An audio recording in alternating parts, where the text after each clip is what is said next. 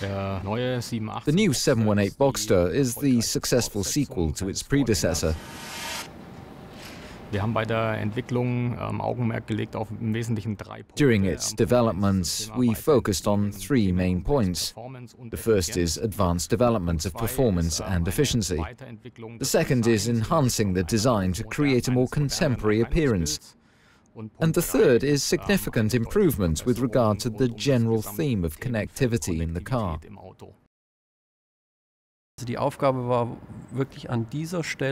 The real challenge here was to give the vehicle even more individual character and demonstrate the technical merits of the vehicle even more clearly.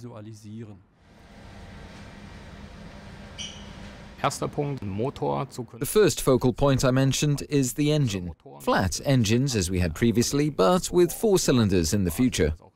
New, it is turbocharged in the basic model as well as in the S version. The second major technical improvements have been made to the chassis.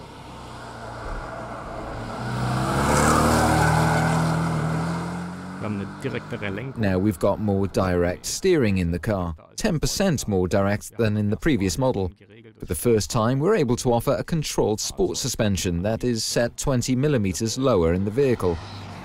And the third major point is the theme of connectivity. We've got a new PCM 4.0, as we call it, which can implement everything required for connectivity and the Porsche Connect apps in the vehicle.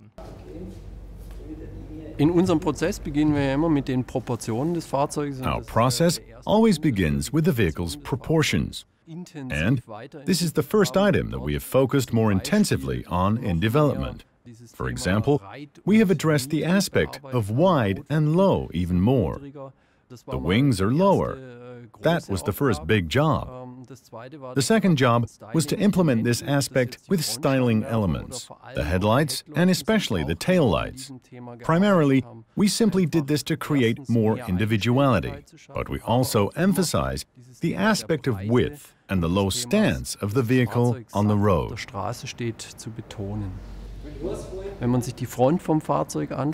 If you look at the front of the vehicle, along the midline, for instance, you see this radius roughly where the bonnet meets the bumper, and it has been moved a few millimeters closer to the road. The very slender front lights and the air inlets at the front end have been moved further to the sides. All of these small details make the vehicle appear even lower and wider.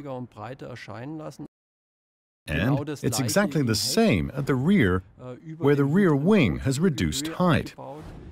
The tail lights have been widened, and this band, which now integrates our three-dimensional Porsche badge, also emphasizes the aspect of width. These are all very small, subtle details which, when combined, give the impression that the car sits even lower and wider on the road.